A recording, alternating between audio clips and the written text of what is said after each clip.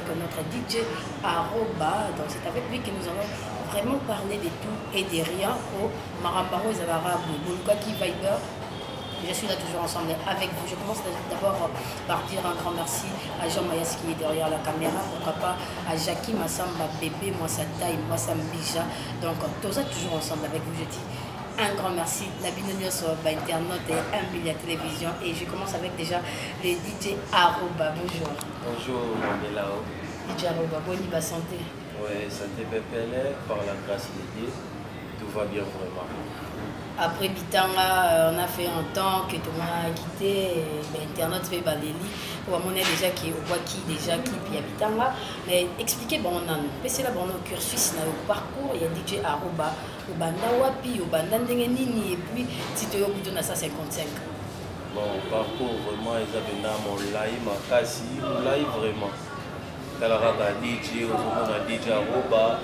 nga mpenza nalaka nao na miziki ya koyemba naka na miziki ya koyemba naka na eclipse eclipse mosika ntili oyo na se retrouva na nedj bodo tozaka na kati ya miziki parce que parcours eza mpenza molai ezala molai makasi malgré badifficulté na ti lelo nde mwa nzambe asungi mambo ya makambo donc toti mosika tobandaka na kidj te tobanda mpenza na champ tobanda na champ nde lelo ozomona donc tobanda ba basi ya menga basi ya menga bapokadero baparfait du vert ve nanga parfait du vert wana mpenza ve nanga twaka na ye na eclipse musika wana na eclipse musika na lelo talaka deja yango balona na 155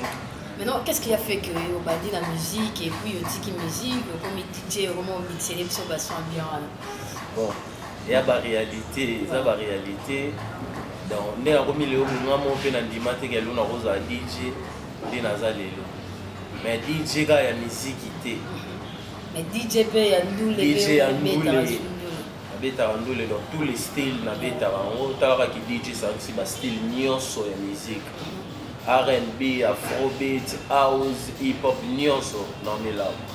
Donc na parcours na yo euh, oyo déjà opesi comme image oyo bato nyonso balandi déjà bitanga nayebi ke ezoleka déjà na plateforme bozolanda yango yango kaka déjà obandelaki premier titre yango ezalaki wana non non non premier titre ti bon chanson na ngai liboso oyo nabetaka ezalaka vraiment donc basi basi bandimaka te basi bandimaka te wana eza nzembo na ngai liboso nzembo na ngai liboso epuis ya mibale nzembo na ngai eza natiaka titre ya kombo na ngai moko dj aroba dj aroba epuis dans leo na oyo biso naza ba cinquième chanson epuis sixième fo ebima kutu sixième fo ebima na mitso to wana na bitanga tolobela na bitanga bitanga yango osukisa yango wana na 155 ou bien ndenge nini te mpo namoni ndeti ba dj lelo moko boza baproblème promotion nde bobetaka bosalaka trop bapromotion te na babilo na bino bosali lelo mwa bien ma okati kara bon première année place ya ba dj wana nakokondane bango vraiment te parce que biso ba dj lelo trop mo vivre lokaka ba musicien mpo mpe toza ba musicien ozomona donc ekoma ke ba dj nyonso vraiment olinga mpo abeta nzembo fo dédicace na ye ezala mais tandis ke bamiziki ya libanda ebetaka badédicace na bango ezalaka te babeta yango ozomona donc ekoma ke mpo abeta nzembo na yo fo dédicace ezala mais tobunda kaka yo oyebi te kongo yango bamanager bazalaka te biso moka tobunda na mwa bapartenaire na biso ya mike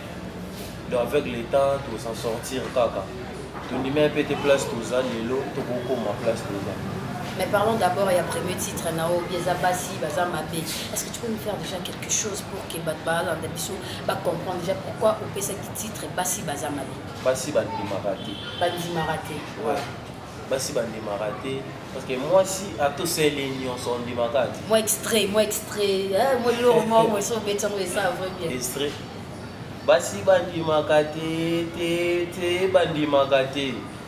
ata opesi ye lola basi bandimaka te ata osombeli ye paris basi bandimaka te donc naomilao basi bandimaka te tomona kutu tomona deja mwasi ya mobutu yo moko oyebi makambo alobaka na papa président donc mingi oloba vraimen eza te mpona makambo wana mpo deja kolanda bamakambo wana ya basi bandimaka te inspiration wana ntango bosalaka banzembo wana eutelaka bino wapi parce que nde namona ba dj bozala pena na temps mingi te po tout déjà osali makambo ntongo folala siko ntongo nini bozwa bainspiration wana ya kosala babiloko yango bon inspiration na motu aza ndenge nzambe asele parce que ngai nde naa inspiration mpo na ngai namona yango lokola mai nde navandi boye ka nde tosala émission boye déjà naa na inspiration ozomona donc kati na yango eza mistake donc nzambe apolisaka na makambo etali inspiration donc place wana vraiment nga nakozwa numero 1 nakozwa mpenza numero 1 na makambo etali inspiration nakozwa numero 1 donc après nzambe ngai na makambo Merci beaucoup, comme vrai que nous continuons toujours avec euh, DJ Aroba, tout bête la maman et telle musique, mais au peu bolingara, na retourne parce que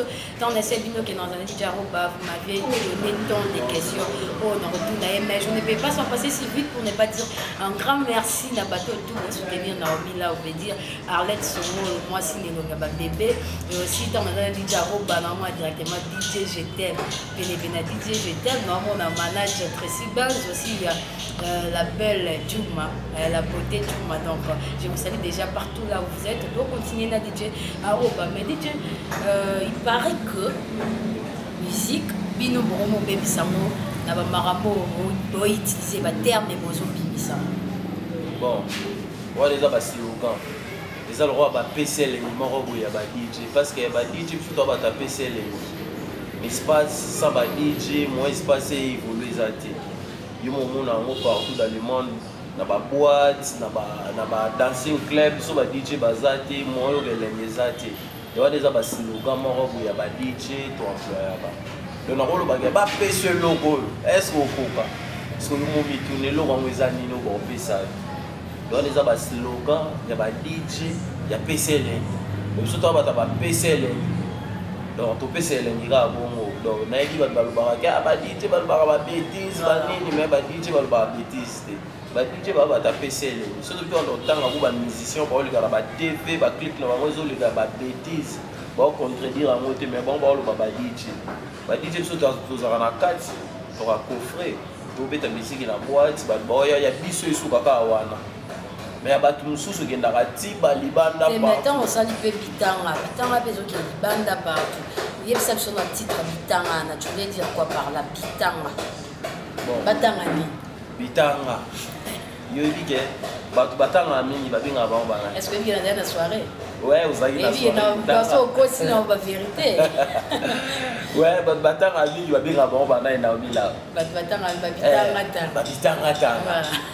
oh, biso sikoyo toa bato moko totangaka trop totangaka trop mingi vraiment me yango yo mpe dija roba na babitanga ngo me tanga mpe bitanga ngo me motema eza deso ya kobeba nzambe na ngai ye bitanga ngo na otanga ngo masango yango na onika yango bitanga yango na otanga yango masango yango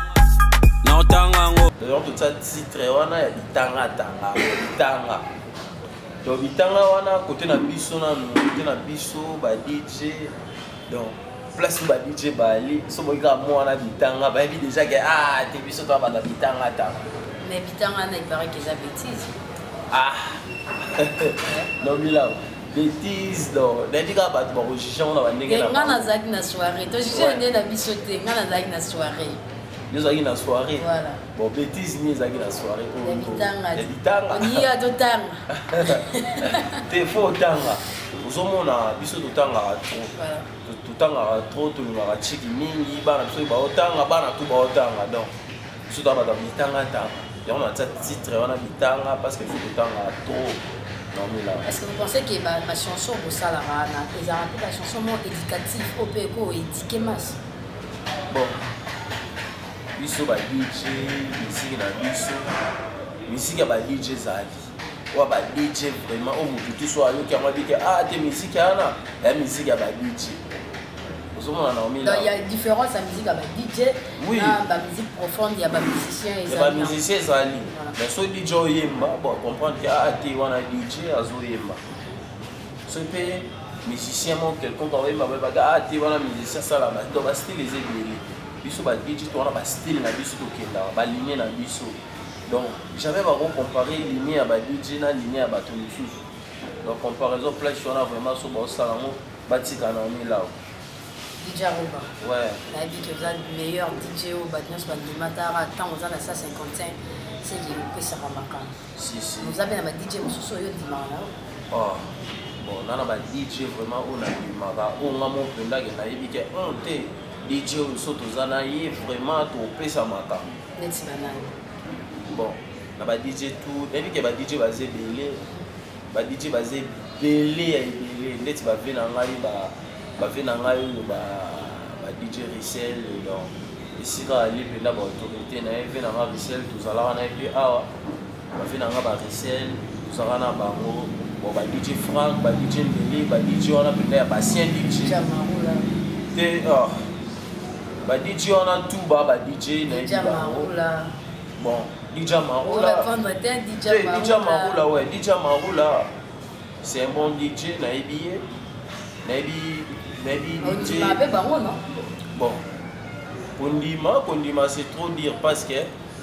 ngai na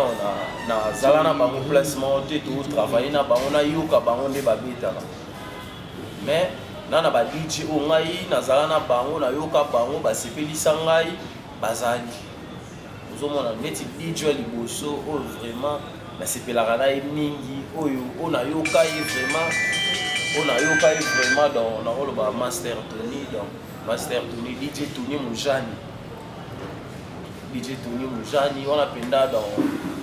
On l'appenda DJ préféré. So, dis-nous, qu'est-ce que tu nous réserves déjà après Bitanga, après. Euh, basi bandima raté hein, c'est ça ba titre tout wana obeti malgré olingo osalela yango promotion te naye badesi obanga nga dana yanga pepe to danse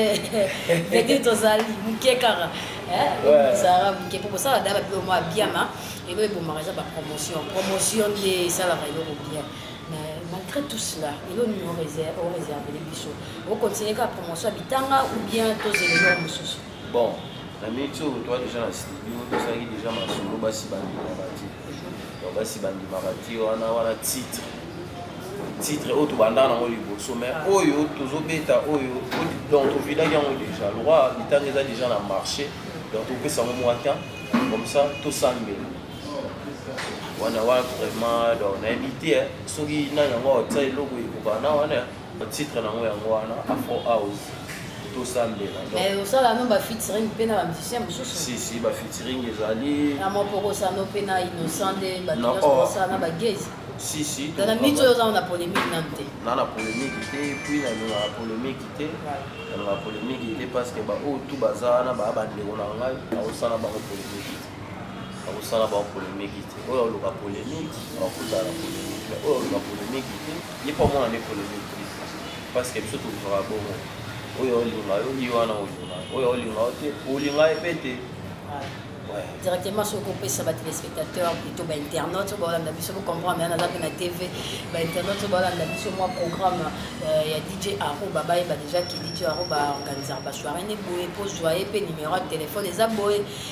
na studio mpe ntango boye programme na ye eza bo bon programme vraiment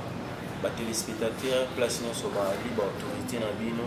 jipe na nga giscar bomoni yango tozali losako le roi zamol 138 losako imbondero d'afrika losako autorité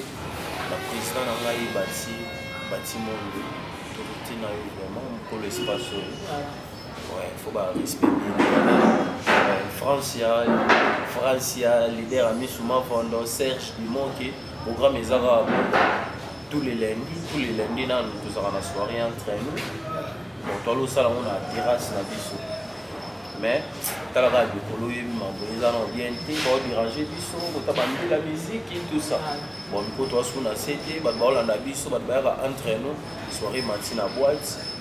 toza na night club mikolo oyo tous les lundi ouais, tous les lundi toza na boîte mpona studio studio tozala na studio sous lundi mpona bato balingaka bamabanga mingi numero ezali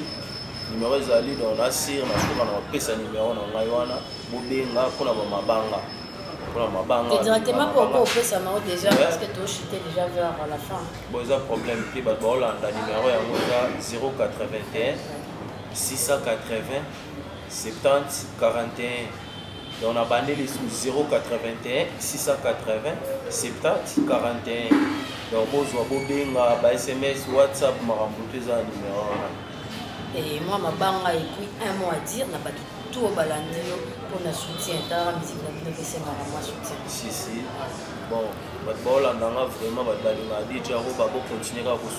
tenir ngai bo continuer kolanda ngai bisika nyonso parce que sa bino moye ngai nazala eza te donc sa bino vraiment mobulu mobulu ya kosakana te bisika nyonso bozali bosutela ngai dj glm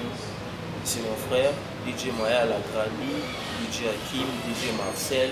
donc bandeko na ngai nyonso parce que mabanga eleki ebele soki tobinana tobwaka botilobi to bandobwaka kaka Tonton Bwaka kaka donc bato mpe basoutenaka te tya robas po continue kaka kosoutenir ye mon boss Michel Kengeshai esi bozali vraiment ya yo eleki papa yo nabengako papa papa de papa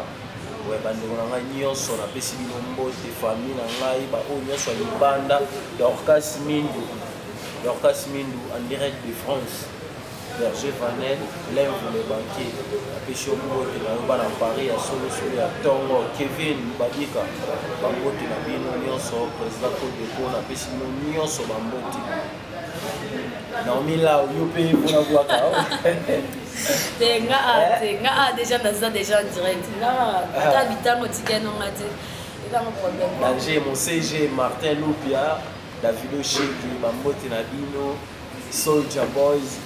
donc bato nyonso napesi bino bambote parce que soki toyanda obwaka mabanga esi elaki vraiment merci beaucoup comprenez que on était là avec le DJ Aruba ça commence bien et ça prend aussi très bien sa fin hein. donc voilà c'était là votre émission découverte qui était présentée par votre âme servante Naomi la autrement appelée Viber le milieu de la presse congolaise et merci à toi Ambilia TV Matimbilia Mwasa Mbija Matimbilia